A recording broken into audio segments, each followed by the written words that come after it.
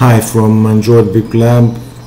Here we're going to see how to enable or disable the auto update for um, uh, Google Play.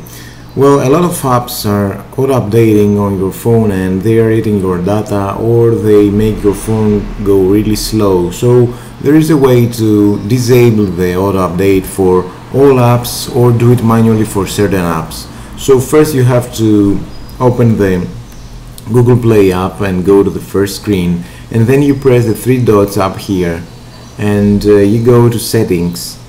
And here there is the auto update apps section so if you press that there are three options. Do not auto update apps auto update anytime with charges if you have data or auto update over Wi-Fi only.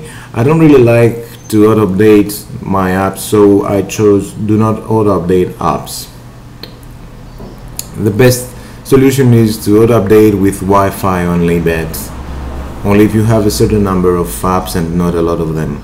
So now the apps are not auto updating but what if I want some apps to auto update so you open your Google Play and then you go to here settings and you go to my apps. Here you can see all my apps downloaded on my phone and I can choose some of them to auto upload for example I want my Gmail app to auto upload so I tap on my Gmail app and then go here press the three dots and here I press auto update so this warning is because I have disabled the auto update section so here we are. Now this app is auto updated and if you go to other apps like Firefox and you do the same here and it's auto updated you can disable auto update. So this app will not auto update.